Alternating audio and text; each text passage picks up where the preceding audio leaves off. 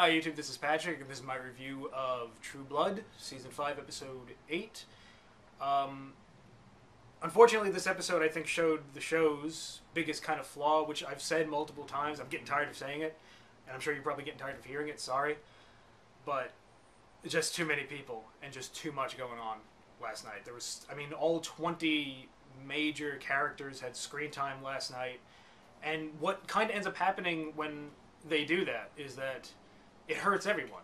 You know, it just kind of not everyone they think they're giving everyone their time to like their moment, their time to shine and everything like that, everything like that. Instead they're just kind of really hindering everybody. And it made the show a bit of a mess. It wasn't I'm not saying that it was all bad. There was stuff that was, you know, very good and stuff that was good and stuff that just felt unnecessary and even extra unnecessary when you you know take a look at how many other things they have to get to. I mean, I, I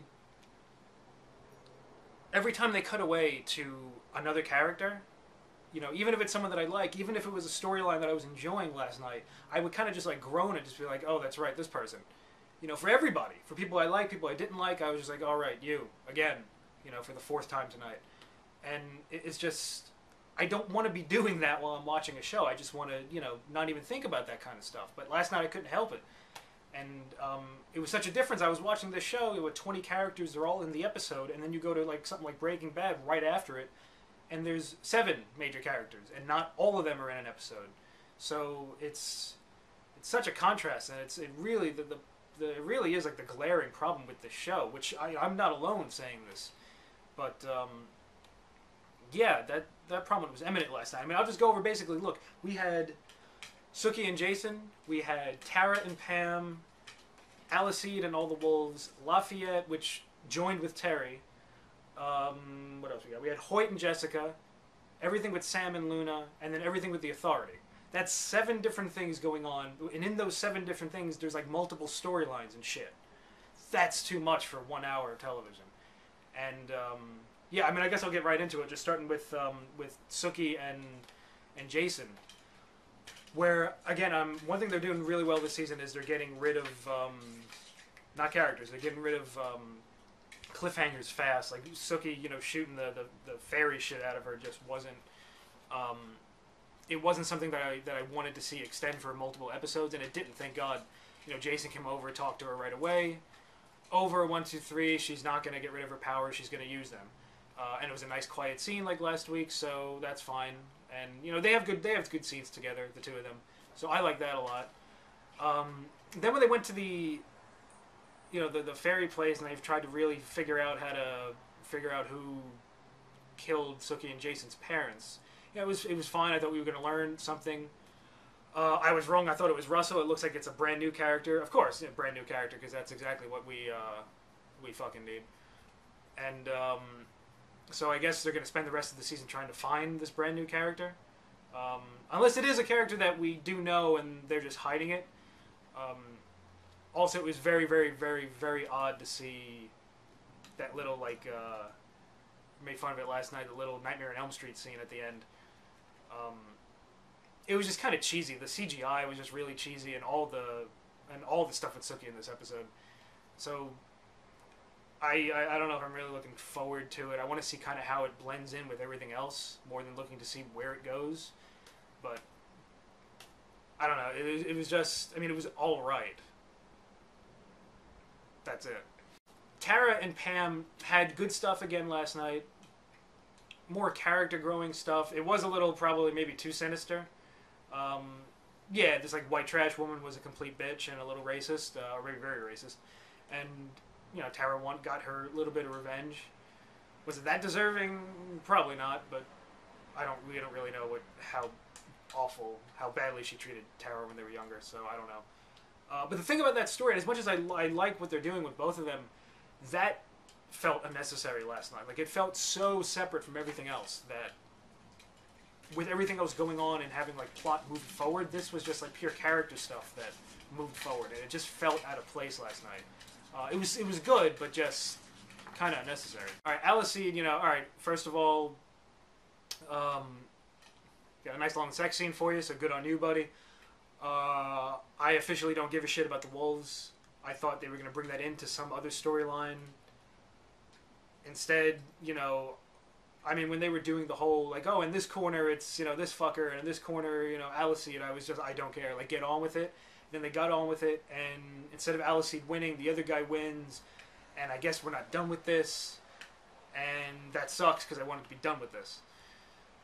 I I mean maybe everyone else out there is enjoying it more than me. I just it just um, I thought they were going to bring this in to other stuff. The only real connection we have to it is um, Marcus's mother connected to like Sam and everything.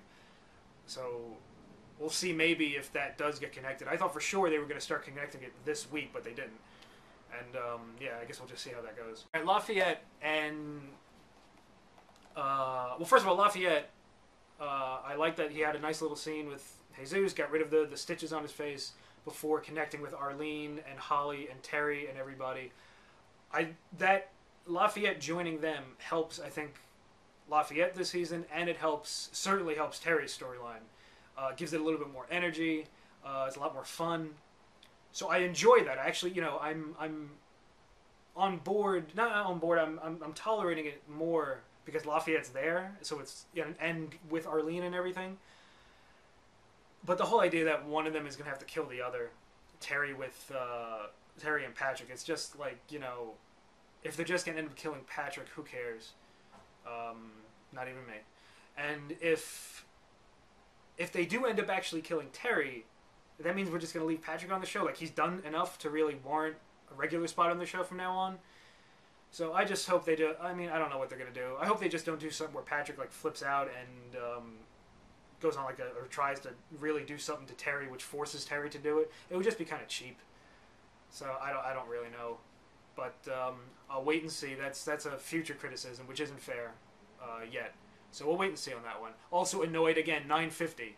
They decided to cut to Terry for the second week in a row. It's just like you know, can we not do them at 950, please? Hoyt and Jessica. Okay, I know she broke your heart, you know, brother, but she doesn't deserve to have a gun to her head as far as what you're concerned, pretty much. And the fact that he did that you know, and even talked to her without like letting her go right away. It just pissed me off. It was just immature, and I didn't care. And uh, the only thing that I liked about it again is that it happened quickly. They got you know Hoyt. They captured Jessica right away in this episode, and then he released her. You know by the end of the episode. Of course, Hoyt, Hoyt goes missing by the end of the episode, and then the guy pulls over, puts the gun on him, and I thought for a second, are they going to do it? Are they going to kill him? Nope, they don't. They cut to cut away, so it's going to be a cliffhanger. Which is great. If it's a cliffhanger, that means he's not dead. That means he just keeps on going, you know? Fuck. Sam. Sam, actually, I loved everything with Sam this episode. The beginning of it with Luna uh, annoyed me because I was just like, what? First of all, it was very weird editing, and then it was like, why? She's to get up and leave, isn't she? And, you know, even though we said don't. So at first I was to be annoyed about that, but then when she turned into Sam, I thought it was actually really, really funny. And um, Sam Trammell, who plays Sam, is uh, really good at playing um, the people playing Sam pretty much, or, or as Sam. And he was not only was he funny this episode, but he was actually believable, uh, which is difficult to do. And um, so I loved everything they did with that, and I like that Andy, you know, was helping Sam. Um, again, they're doing a better job with Andy still this season, so uh, you know I like that stuff. And um, it looks like now they're gonna, I guess, join with Jessica, which helps. They're probably gonna have to look for Hoyt, which sucks, but it looks like that's them joining together like that. I think I might like that that storyline definitely going forward as we enter you know the last section of the season. Uh, I hope it will anyway. All right, the Authority.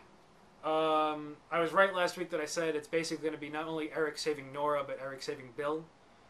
Um, first, let me just say that last week I mentioned about Russell. I was kind of it was strange that he was just kind of be going to be a hired gun until he doesn't feel like it. Kind of weird to see him. All he did this week was like flirt with Steve Newlin. He's kind of like in the background. Um, maybe they'll change that at the end of the season. And again, I'll, I'll, you know, criticize that if if they don't really do anything with him for the remainder of the episodes.